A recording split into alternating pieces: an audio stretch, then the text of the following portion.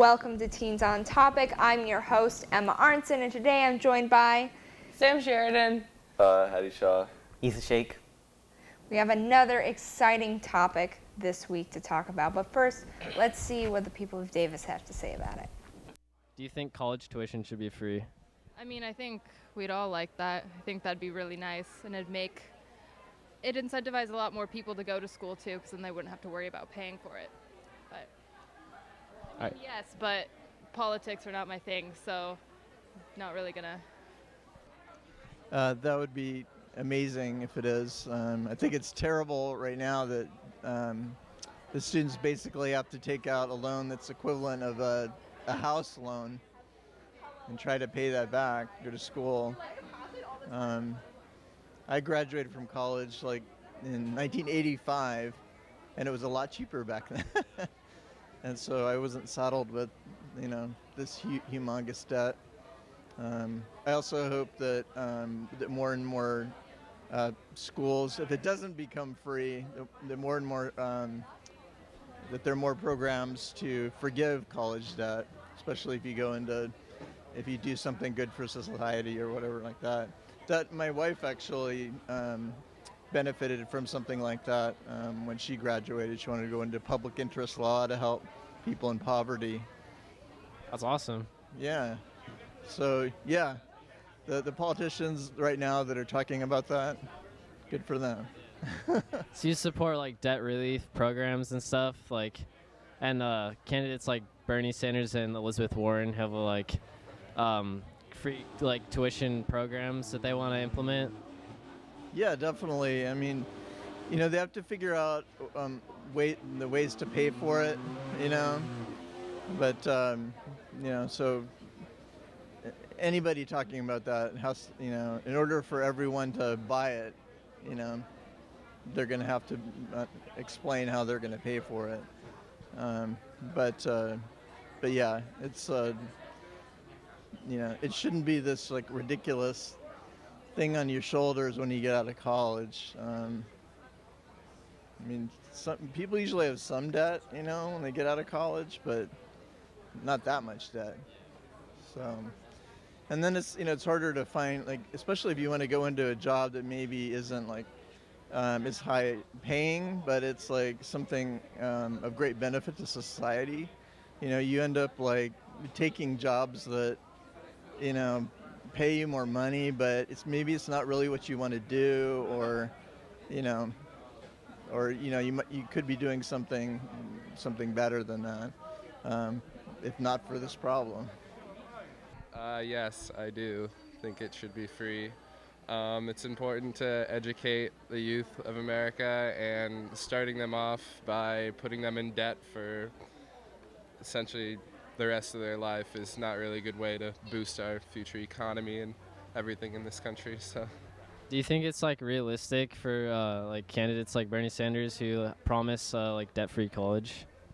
Um, I think it can be with the proper delegation of funds. He hasn't really put out a distinct plan for uh, how he wants to go about free college. Elizabeth Warren has a more actual structured plan about how she'd want to pay for it. I'm more of a Bernie fan, but I'd like to see him actually put out a plan for how he intends to pay for it.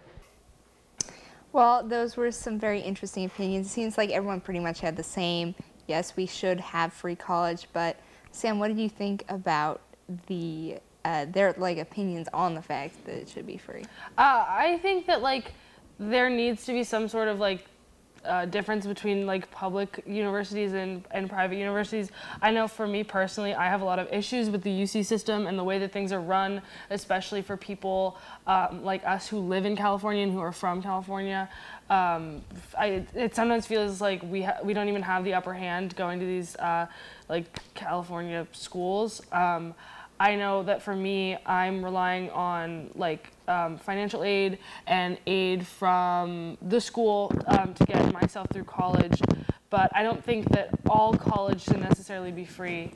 Um, I do want to dive into something a little bit later about how I feel about like FAFSA and stuff like that. Um, if anyone else has any opinions or anything. Um, I don't like the DMV because it's low, and so if college is like that, I won't be happy. If the government runs colleges? No, if it's like the DMV. Okay. okay. Yeah, um, I think this is a super duper. I- I mean, it's not necessarily complicated, but there's so many aspects to this.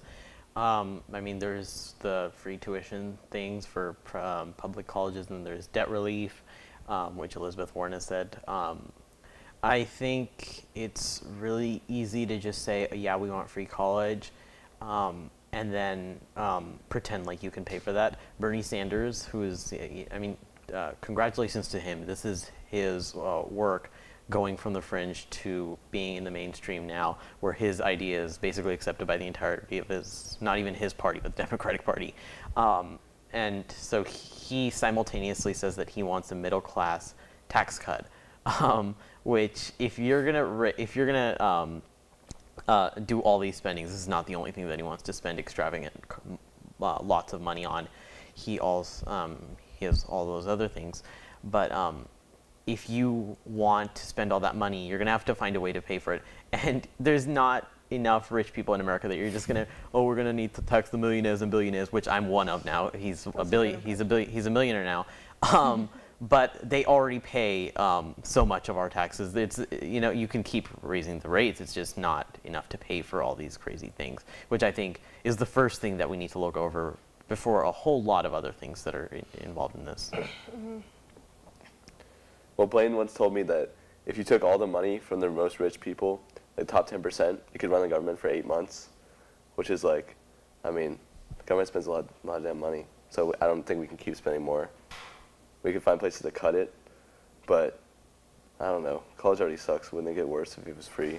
Well, yeah, I think that another thing that's like important to look at is is like how government aid impacts like um, the pricing for colleges. Like if the government keeps giving more and more aid, colleges keep seeing or colleges don't see any downturn in um, like applications or acceptances um, if like as because the government is giving people more aid and so then the colleges are like oh we can just continue to raise our prices.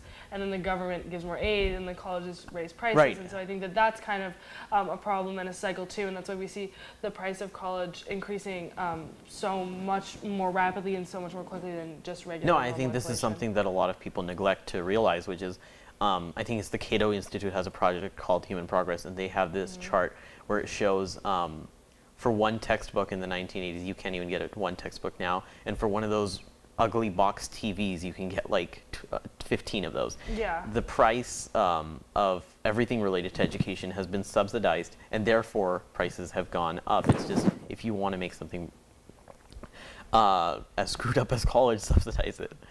yeah Yeah. How do you guys? I mean, as like graduating seniors going into college, how do you feel? Like, how much did like money and that kind of stuff impact your decision?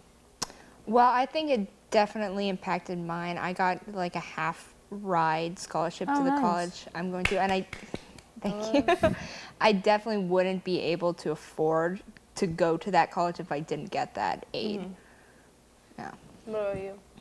Uh, the government did give me some money. FAFSA was from the government, right? Yeah. Yeah. Yeah. I don't know. Yeah, they gave me some money.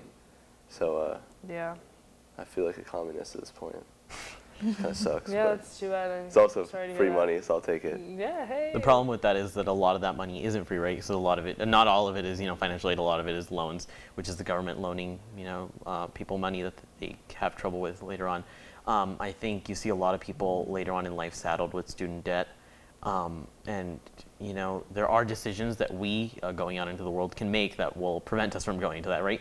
Working it, working with college, it sucks. It's you know, it's tough. Um, it might make life boring because you don't have time for other stuff, but um, it helps. Going through community college and transferring saves you a lot of money. Uh, there are a lot of tangible steps that you can do um, as you know college students, as people going into the world, um, that save you money in the long run, and then you don't have to have the government pay your debts off. Um, just going into the debt idea, that's pretty crazy because how would I feel if I'm somebody who's you know had a lot of debt and managed to pay it off, managed to work my butt off to pay my debt off, and then I see, you know, my cousin Sal getting all his um, my my cousin getting all his debt just erased by Elizabeth Warren. Uh, I think that's pretty unfair. Um, Yeah, I think another thing though that's important to look at is um, student debt is the only. Uh, I think th- my understanding is like the only debt that you can't go bankrupt from. Like you can't when you declare bankruptcy, like your student debts stay with you. And so I think that like the fact that people who are 17 and 18 years old are signing up for these debts that might carry with them throughout the rest of their entire lives is kind of ridiculous.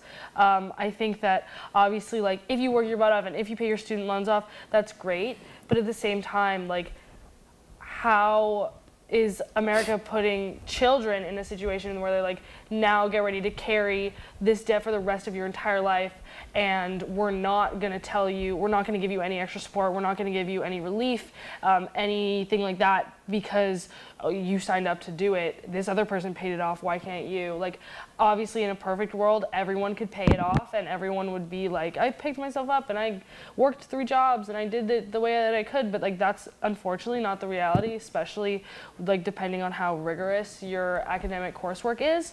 Um, and so, like, obviously missing out on social things to work is just part of life, but I think it's much more than that. I think um, with the way that college is set up, like, I know that I'm signing on to a lot of student loan debt just because of where I'm going to school, and it's my choice, obviously, and I'm like willing to accept that, but I would feel better, and it would feel better to me if I knew that the government was willing to offer some sort of not even relief, just like understanding um, for my student loan debt, um, because I think it's kind of like signing your signing part of your life away if if there's no way to relieve it and there's no way to go bankrupt from I it. think that's right, and I think our federal government does do a lot to encourage this whole um, student debt culture, right? Right with the FAFSA, they're encouraging you to take these loans that'll um, trouble you throughout your life. Also, I mean, there is there are choices to avoid those debt. I just think that's plain. I Yeah. think I think for me,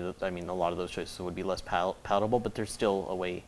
Um, to avoid this culture, I guess, of debt taking, uh, we don't. It's not just something with college, but uh, it's a big problem with our college application system today that we're basically encouraging student debt um, and then sometimes for majors that don't help you pay them off.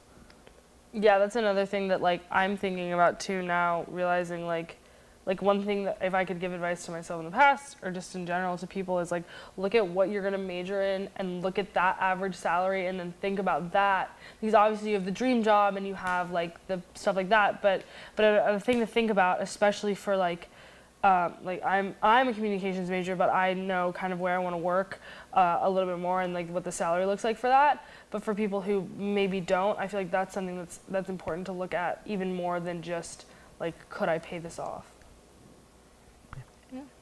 Well, thank you all for joining us. It was a very interesting episode. Make sure and join us next week. Thank you.